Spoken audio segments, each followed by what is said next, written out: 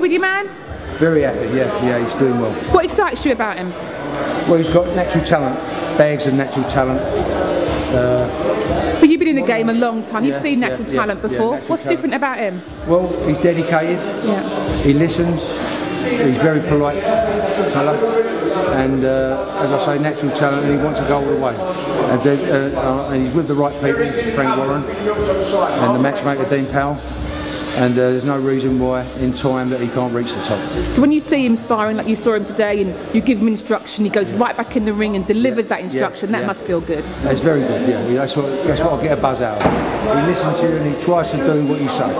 But remember, he's only been with me uh, 12 days and already he's turning around already, so he's a quick learner. When you say to him in the ring, I don't want to take away from you what you're naturally good at, what is he naturally good at? naturally good at top half, making people miss, that's, and moving around, they're missing by that, a fraction of an inch, right? But he's got to be careful. When he makes a miss, he's got to counter back right away. Yeah. Whatever position is, miss, counter, miss, counter, hook, cross hook.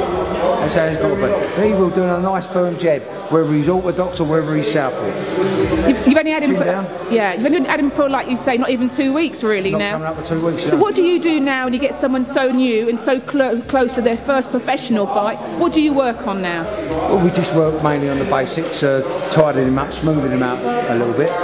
Don't want to, as I say, Rome wasn't built on a day. We don't want to do this, do that, you're doing that wrong. Just let him go, let it come. He's natural. That'll- Everything I'm saying, will come out in one day. Cheers, Jimmy. Everyone's excited about you, Billy Joe. Uh, Everyone's excited about you. I just can't help but feel that when you have so many people excited about you, just it's got to you got to feel pressure in that you don't want to let people down.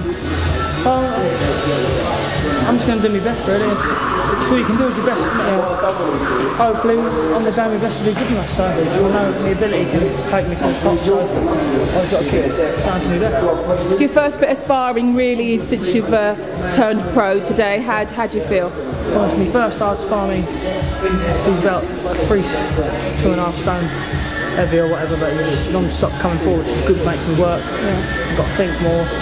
That's me, as I say, that's my first hard spar. Still more to come in that, so plus last week before the fight, me and Jimmy will be sharpening it up, and the hands will be more faster and be more on the ball, so well, I'm pleased the way it went to first today. Not been with Jimmy Tibbs very long, not even two weeks yet, but uh, you know he's so passionate. You can see, and he's giving you very detailed instructions. Yeah. What's it like, if, you know, having someone with the experience of Jimmy Tibbs helping you out? Well, he's trained. He's trained Nigel Benn, you know. He's, he's trained all, most of the top fighters. I mean, he knows what this game's about. So if you listen to him, you, you won't go wrong, really. And I've got one of the, I reckon I've got the best trainer in this country. I mean, he's trained Nigel Benn, he's trained everyone. So listen to him, I definitely won't go wrong.